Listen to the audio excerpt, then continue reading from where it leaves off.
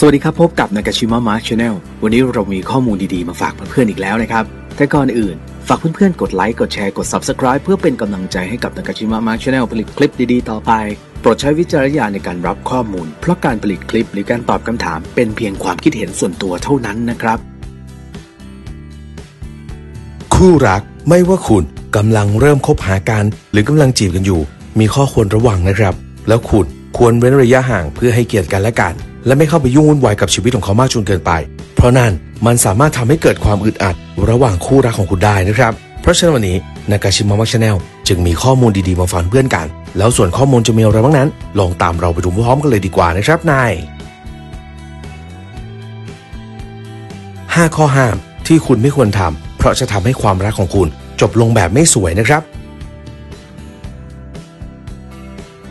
ลองมาดูกันที่ 1. ละเมิดพื้นที่ส่วนตัว การละเมิดสิทธิ์หรือการก้าวล้ำเส้นส่วนตัวของอีกฝ่ายนั้น ถือว่าเป็นสิ่งไม่ควรทำอย่างยิ่ง ขึ้นชื่อว่าเรื่องส่วนตัว เขาคงไม่อยากให้เราเข้าไปยุ่งจริง ๆ นั่นแหละนะครับ แม้กระทั่งตัวคุณเองต้องเข้าใจด้วย การคบกันต้องมีเส้นบางๆขั้นไว้บ้าง เพื่อให้เขายังมีความเป็นตัวของตัวเอง มีพื้นที่ให้เขาอยู่ ให้เขารู้สึกว่ามันเป็นเขาที่สุด และไม่ถูกกลืนกิน เพียงแค่มาคบกับคุณนะครับ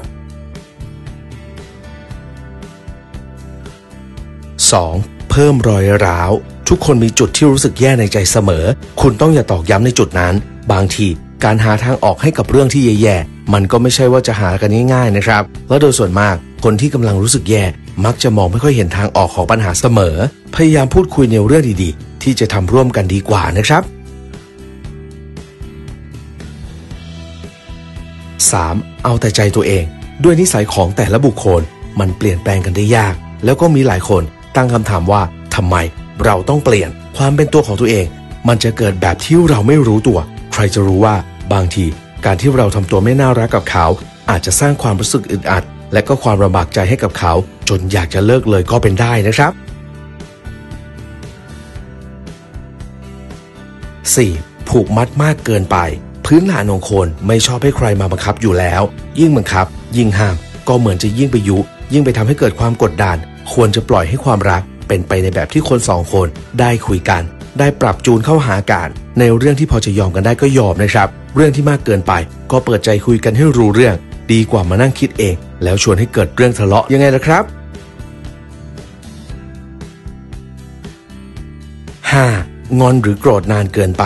การให้อภัยเป็นสิ่งที่ดี และเป็นสิ่งที่สำคัญมากๆสำหรับการคบหา หากอยากให้ความรักยืนยาวเรื่อยๆ การให้อภัยเป็นสิ่งที่ควรทำ เพียงทะเลาะกันเล็กๆ น้อยๆ ก็ไม่ควรจะเก็บมาเป็นอารมณ์ ให้คุณข้องหมองใจเปล่าๆ ถึงแม้บางเรื่องมันจะร้ายแรง จนบางที คุณรับมันไม่ไหว ก็อย่าไปฝืนนะครับ ให้ความรักมันจบลง แบบยังเหลือความรู้สึกดีๆ ให้แก่กันดีกว่านะครับ